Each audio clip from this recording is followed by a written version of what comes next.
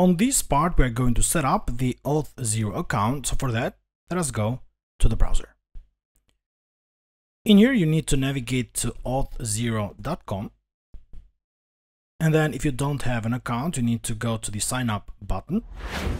And here you can either sign up using your Google account, your GitHub account, or Microsoft account, or you can use your email address.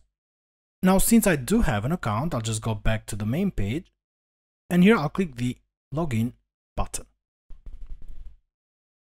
I'm going to log in using my Google account.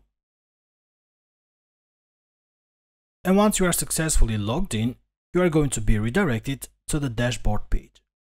Now here what we need to do is that we need to create an Auth0 application. Then we are going to install the npm package in the Angular application and we are going to connect these two together using the secret values. So for that, let us first create the Auth0 application. I'll just go to applications in here and then I'll select applications. And here on the right, I'm going to click on the create application button. Now here, the first thing that we need to do is that we need to define the application name. Let us name this app the movies app auth and then we need to choose the application.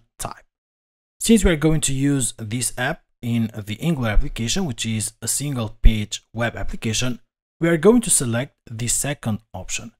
And in here you can read it says a JavaScript front-end app that uses an API.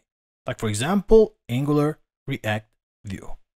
So we're going to set or we're going to select the second option and then click create button. Now that the app is created, you need to go to settings. And from here, you need to copy the domain and the client ID values. On the next part, we are going to configure now this Auth0 application with our Angular application, and we are going to follow the quick start that you have in here.